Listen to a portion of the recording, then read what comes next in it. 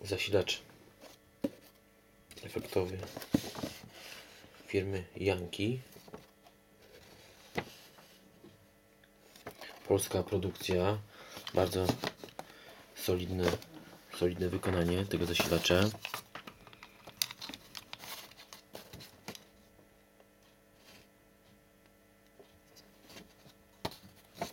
Na uwagę zasługuje fakt, że to jest dosyć gruby, porządny kabel tego zasilacza. Nie jakiś cieniutki, e, cieniutki drucik, tylko porządny kabel, porządna wtyczka, standardowa do efektów mm, gitarowych, 9V.